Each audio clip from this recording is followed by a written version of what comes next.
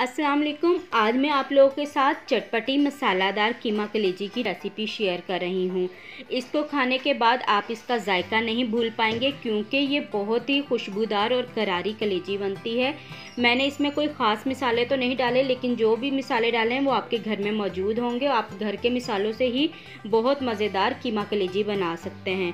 तो आप रेसिपी को पूरा एंड तक देखिएगा, आपकी भी कलेजी कीमा बहुत अच्छी बनेगी। तो यहाँ पर हमने आधा किलो कलेजी ले ली है, इस पर मैंने नमक और सिरका डाल के अच्छी तरह से धो लिया था। एक पाव हमने कीमा ले लेना है, दो मीडियम साइज़ के प्याज कटे हुए, दो टमाटर और यहाँ पे छः सब्ज मिर्चें मैंने ली है, अदरक और लहसुन लिया। अगर हम इसका पेस्ट लेंगे तो ये दो चम्मच बनेगा।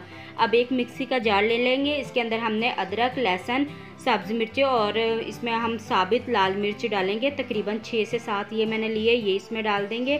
आधा चम्मच हल्दी पाउडर डाल देंगे, एक चम्मच हम इसमें ज़ीरा पाउडर डालेंगे, एक चम्मच धनिया पाउडर डाल देना है और आधा चम्मच हम इसमें गरम मसाला डालेंगे। अभी नमक में इसमें नहीं डालूँगी, नमक बाद में डालेंगे। थोड़ा सा पानी डाल के हमने इसका पेस्ट बना लेना है। जो पेस्ट है, वो आपने बहुत ज़्यादा बारीक रखना है। मोटा पेस्ट नहीं हम इसमें शामिल करेंगे।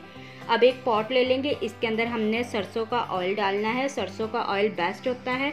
तो अगर नहीं आप डालना चाहते तो आप कोई सा भी ऑयल ले लें। अब यहाँ पे आधा चम्मच काली मिर्च लिए, एक दालचीनी का टुकड़ा, दो बड़ी इलायचियाँ, चार लौंग और दो छोटी इलायचियाँ लिए मैंने।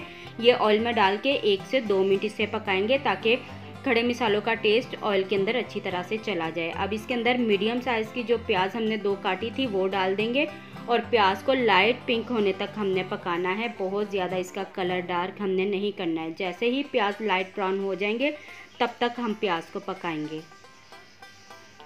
तो देखें, हमारे प्याज लाइट ब्राउन हो चुके हैं। अब इसके अंदर हमने डाल देना है ये जो पेस्ट हमने बनाया था, ये सारा पेस्ट इसके इसके अंदर डालेंगे और ये जार के अंदर थोड़ा सा पानी डाल के इसमें हम डाल देंगे क्योंकि कोई चीज़ भी हमने ज़ाया नहीं करनी है। सब कुछ इसके अंदर डाल देना है। तो इस मिसाले को हमने तीन से चार मिनट अच्छी तरह से भून लेना है। ये देखें, ऑयल ऊपर आ चुका है। मिसाला माशाल्लाह से बहुत अच्छी तरह से हमारा भून चुका है। तो अब इसके अंदर हमने टमाटर डाल देने हैं। जो हमने टमाटर काटे थे, वो इसमें डालेंगे और टमाटरों को गलने तक पकाएँगे। टमाटर गलने में भी तकरीबन तीन से चार मिनट ही लग जाएँगे।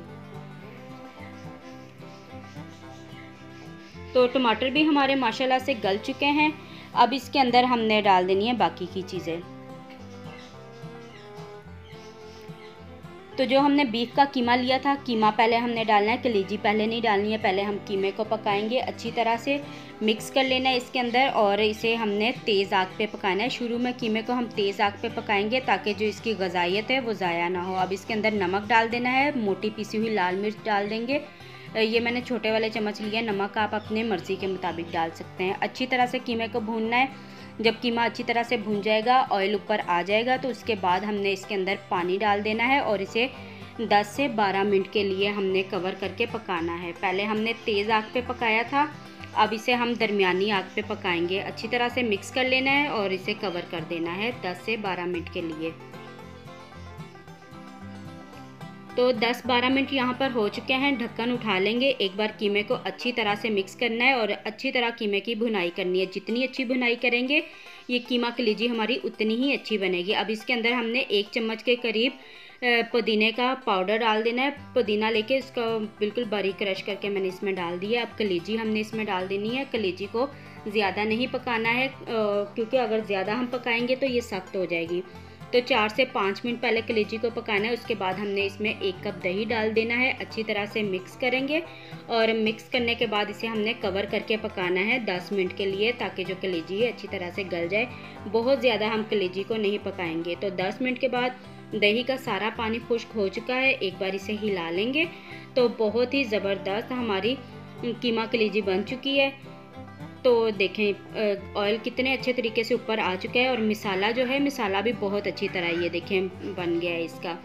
तो चूल्हा बंद कर देंगे और इसे फिर मैं आपको प्लेट में निकाल के दिखाती हूँ। तो ये देखें, मज़ेदार सी हमारी कीमा कलेजी बन चुकी है। तो अब आपने ये रेसिपी बकरा ईद पर भी ट्राई करनी है। ये स्पेशल रेसिपी मैं बकरा ईद के हवाले से लेकर आई हूँ। तो आपने जब ये रेसिपी बनानी है और उसके बाद आपने कमेंट करके भी बताना है कि आपकी ये रेसिपी कैसी बनी। तो उम्मीद करती हूँ कि आपको आज की रेसिपी अच्छी लगी होगी। वीडियो अच्छी लगे तो लाइक करें शेयर करें और अगर चैनल पर न्यू है तो चैनल को सब्सक्राइब करें। थैंक्स फॉर वॉचिंग अल्लाह हाफिज़।